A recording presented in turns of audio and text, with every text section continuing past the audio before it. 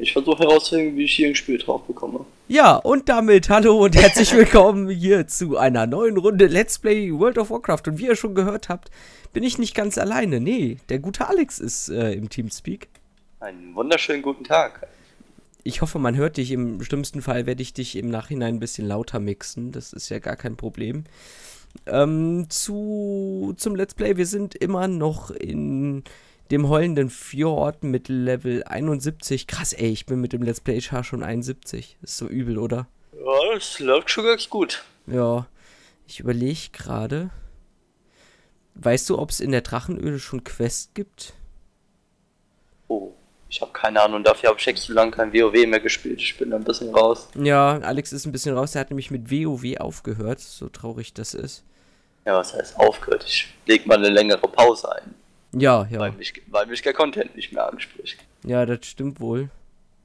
Und ich bin gerade ein bisschen überfordert, was ich hier machen muss. Oh, ich darf zwergische Fässchen sammeln. Das ist ja cool. Man merkt, selbst in Videospielen dreht sich alles nur um Alkohol. Natürlich. Wird es nicht, wenn man bei irgendwelchen Zwergen landet, ne? Ja, ja, das sind hier so verwirrte Zwerge. Ja, Verwirrte Zwerge. ja. Oh, ich darf zwölf verwirrten Zwergen das Hirn rausnehmen. Das ist ja witzig. Nett. Ja. bin am, ich bin mal wieder am Überlegen. Momentan spiele ich ja Feral hier mit dem Let's Play Char. Aber ich bin am Überlegen, ob ich nicht äh, mal wieder auf, äh, auf Eule umspecke. Weil ich hätte auch mal wieder Bock auf Eule, aber das ist so ein bisschen meh zum Leveln. Ja, das stimmt wohl. Meine ganz kurze Off-Topic-Frage, die Smaragd-Edition spielt hier im Moment, ne? Ja, ich spiele momentan die Smaragd-Edition. Alles klärchen, danke. Weil Alex und ich sind große äh, Pokémon-Enthusiasten. Ey, ohne Witz, hast du den Trailer zum äh, neuen Pokémon gesehen? Nee. Es kommt jetzt ein neues Pokémon raus Ende des Jahres, also im November. Und eigentlich würde ich mir dafür auch wieder ein DS zulegen. Ich hätte sowieso voll gerne ein DS. Ich habe in Berlin relativ viel drauf gespielt und es, es macht einfach Spaß. So. Ja. Wie schaut's denn aus? Habt ihr mobile Konsolen? Das könnt ihr ja mal in die Kommentare schreiben. Würde mich mal interessieren. Weil so ein mobiles Ding, ich meine, ich habe auf dem Handy einen, einen äh, Gameboy-Emulator. Das macht schon Bock, aber so ein DS ist dann nochmal was anderes, ne? Mhm, das stimmt. Gerade auch für die neuen Titel, die dann immer erscheinen. Also ich habe Persona gespielt, das hatte ich vorher noch nie gespielt. Und das macht mega Laune einfach nur. Persona ist auch so ein rollenbasiertes RPG, ne? Ja, das ist ziemlich viel Text und Dialoge und soziale Kontakte pflegen und so, aber es ist auch sehr grindlastig und da gehe ich voll auf für sowas. Ja. Ja, Persona war, glaube ich, das ist schon eine ziemlich alte Reihe, so wie ich das mitgekriegt habe. Ja, das gibt schon ewig. Boah. Ach, ist ganz witzig, hier die Zwerge umzuhauen. Es geht sogar recht flott. Ach, sei ruhig, hab wieder Lust auf WoW bekommen. Ja, ich weiß. Und dann gucke ich so, hm, wann kommt das Addon raus? Aha, okay, interessant. Da bin ich gerade voll in meiner Ausbildung, da habe ich nicht so viel Zeit. ja, das ist ein bisschen blöd. Aber naja, was will man machen, ne? Eben. Also ich bin ganz happy noch mit meiner Gilde. Ich freue mich ja extrem auf, auf Challenge-Mode heute. Mhm. Das wird richtig witzig. Für die Leute, die es nicht wissen, es gibt in WoW einen sogenannten Challenge-Mode. Da machst du dann, da kriegst du, äh, da wirst du runtergenervt auf, glaube ich, äh, Gegenstandsstufe 630 und ähm, bekommst keine Set-Boni. Ich glaube, die Sockel zählen nicht, Verzauberung zählen aber. Oh, ich komme vor wieder später angerufen. Jo.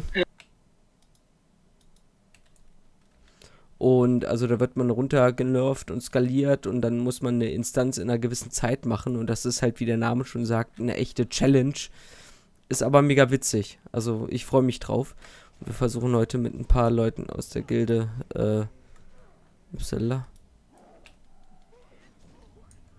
Ach, Freizaubern war ja auf meiner eigenen, auf meiner eigenen Skills. Ich vergaß. Ja, und ansonsten, ich habe es ja auf Facebook schon angekündigt. Übrigens lohnt es sich auch wirklich auf Facebook mal vorbeizuschneiden. Ähm, weil der liebe Alex wird bei mir auf dem Kanal mit einsteigen und dann wird es von ihm auch Videos geben. Was genau? Das müssen wir noch ausklabustern. Ich kann schon so viel verraten, es wird ein wenig musikalisch. Und da freue ich mich schon sehr drauf. Ja, und des Weiteren machen wir hier weiter unsere verwirrten Forscher. Übrigens ein cooler Name dafür. Ah, das dürfte jetzt auch der letzte sein, genau. Sehr schön. Was haben wir denn noch für Quest? Brennescorn Brenne. Achso, ja, das war irgendwie Buggy. Da haben wir irgendwie. Äh, wir können es ja nochmal gucken, ob der Questgeber jetzt da ist, weil eigentlich hier die Quest brechen wir mal ab. Jo. Und ich habe auch mal wieder Lust auf eine Inni. Also wir werden bestimmt demnächst auch in einer Folge mal wieder eine Instanz machen, weil gerade auch die Instanzen in Northrend sind ziemlich cool und das bringt uns auch so ein bisschen Level Advantage. Also da leveln wir ein bisschen schneller durch. Und weil ich will auch, ich habe so hart Bock dann auf Legion. Nur das werden wir zeitlich nicht hinbekommen. Leider, leider. Aber ja. Mal schauen. Das kriegen wir schon irgendwie hin. ja, sicher doch. Ah, du bist wieder da, WB. ja. Wer hat denn angerufen? Die Marie. Ah, okay, was haben sie gesagt? Äh, sie hat nicht alles daheim für den Salat, ob sie den bei uns fertig machen kann. Also, ja, weil wir grillen gleich noch schön. So, was haben wir denn hier? Verseuchter Frühkohl beseitigt.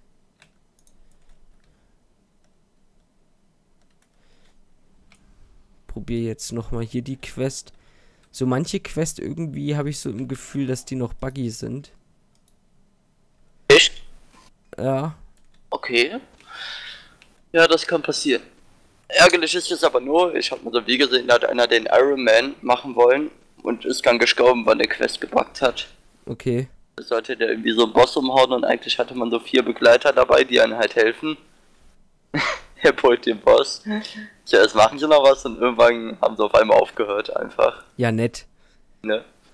Der war auch richtig happy. Ja, das glaube ich. da war da schon so Level, oh, keine Ahnung, ein paar 50 oder so, kurz vor der Scher Scherbenwelt.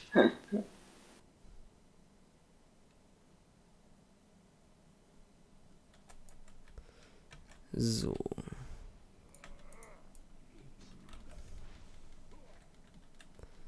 Ah.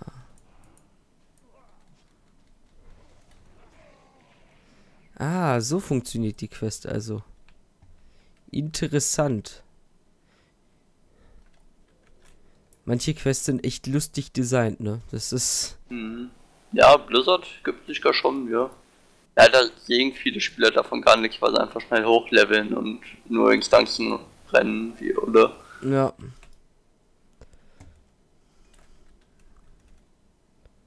So, ich pull jetzt hier mal.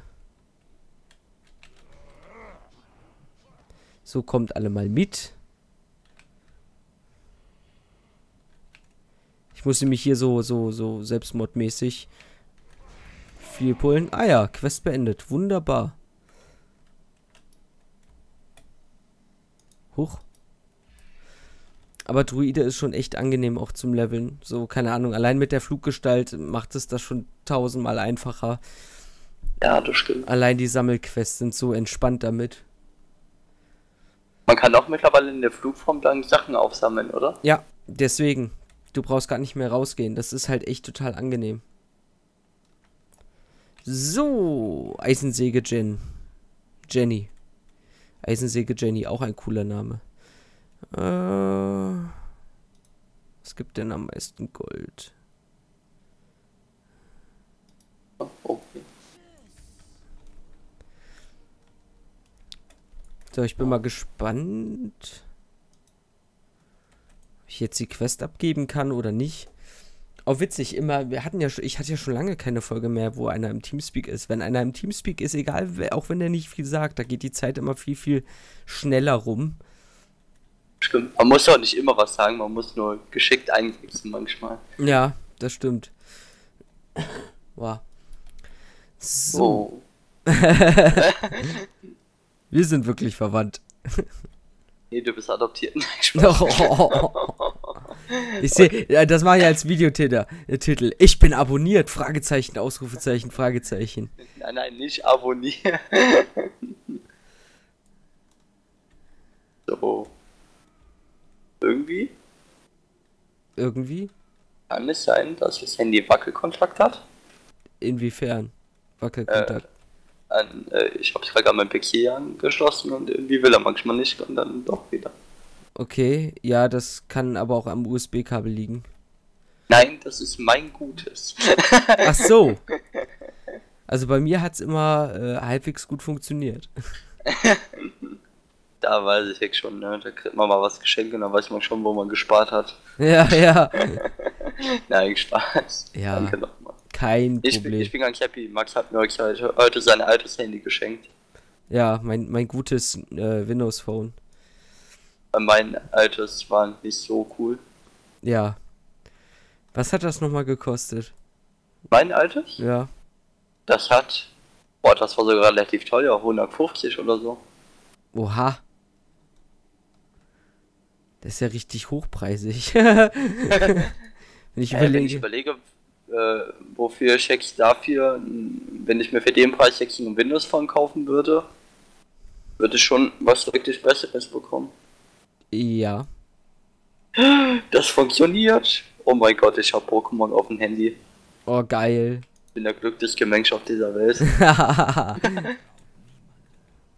so, hier habe ich keine Questen mehr. Oh mein Gott. Das ist ja. Ich, ich bin happy gerade. Ja, das merke ich. So, ich fliege jetzt nach, nach, äh, Das hier ist ein sogenanntes Pokémon. Junge, ich spiele das schon länger. ja. Jetzt frage ich mich nur, hat man hier auch irgendwo eine Leertaste? Ah, ach so, wegen schneller machen. Ja. Oh, keine Ahnung, das weiß ich nicht. Das weiß ich wirklich nicht, da muss ich passen. So ein Junge oder ein Mädchen? Ich bin Veganer, Junge. Muss, musst du reinschreiben, ich bin, ich bin Veganer. Mein Name. Gibt es mir einen coolen Namen oder einen blöden Namen?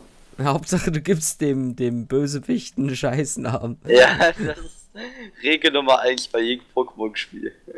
Ja. Ach, ich fliege jetzt zurück zum Lager der Winterhufe. Oh, ich finde ja Northrend von der Gegend her echt total geil, ne? Ja, ist es ja auch.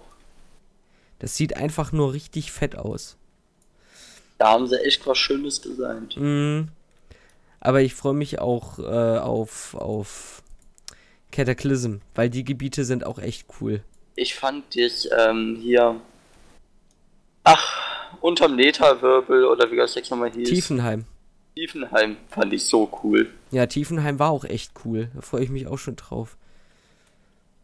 Na, ob ich Level 72 in der Aufnahme noch schaffe? Ich meine, wir sind schon bei 13 Minuten. Was? Okay. Ja, nehmen schon 13 Ah. Minuten auf. Krass, ne? Ja, das ist unbelievable. Krass nicht? Das ist schon heftig, ne? Ja. Ja. So, hier Lager der Winterhufe. Lol, nee, hier kann ich die Quest auch nicht abgeben. Ich, das ist ein bisschen komisch, weil ich habe drei Quests ab, äh, fertig. Da musste ich so cool und sowas umboxen. Und äh, ich soll die angeblich in dem Lager auch abgeben. Aber irgendwie kann ich das nicht, weil der Questgeber nicht da ist. Ich lese nochmal hier den Questtext. Äh, zerstückelt der Held der Winterhufe. Okay. Habe ich denn irgendwie ein Item, um diesen Helden zu rufen? Oh Gott, ich muss erstmal, ich muss erstmal verkaufen. Ich habe viel zu viel Krempel. Haben wir denn hier? Ah, ja. So, wir fangen mal an zu verkaufen. Das brauche ich eh nicht. So, die Dolche können wir mal wegmachen. Worgenschenkel. Schön lecker Worgenschenkel in Tomatensoße. Das ist schon eine feine Sache. Wir Eine können, Morgenlasagne machen. Also. ja, eine Worgenlasagne. genau. Bei Pferdelasagne kann jeder. Ja, ja, wir machen Worgenlasagne. Ich verkaufe hier wild erstmal alles. Achte aber drauf. Ich habe da bestimmt irgendwo ein Quest-Item, was mir. Achso. Hm. Was mir diesen Helden dann äh, herbeiruft.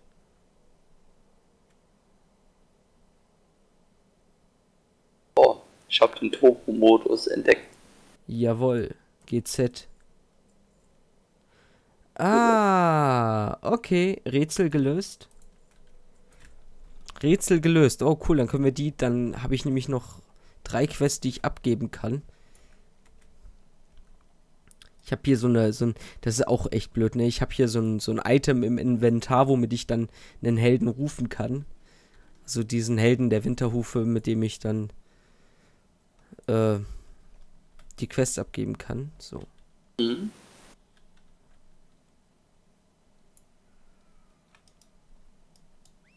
Jetzt bin ich glücklich. Ich kann wieder Pokémon spielen. Ja, das ist doch schön. So, drei Quests abgeben. Bezwinger von Scorn. Ah, okay, und jetzt können wir noch mal... Upsala. Jetzt können wir im Lager der Winterhufe nochmal eine Quest ergeben. Und ich würde dann sagen, wir machen dann an der Stelle auch Feierabend. Ich meine, wir haben jetzt 16 Minuten aufgenommen. Das ist äh, schon ganz. Ja, ganz dann machen wir die 20 Minuten noch voll, oder? Ach. Oder haben wir so eilig? Haben wir schon eine Runde klar. Ne? Ja, können wir, können wir eigentlich auch machen. Muss ich mir überlegen, ja. was ich da noch in den verbleibenden dreieinhalb Minuten mache. Aber das ja, kriegen wir. 100, oder? Ja, easy. so, gib ich jetzt mal ein bisschen Mühe, okay? Ja, sorry. Ich streng mich ja schon an. So, was bekommen wir denn? Einen schönen Anhänger? Brauche ich nicht. Was gibt denn, die übliche Frage, was gibt denn am meisten Gold?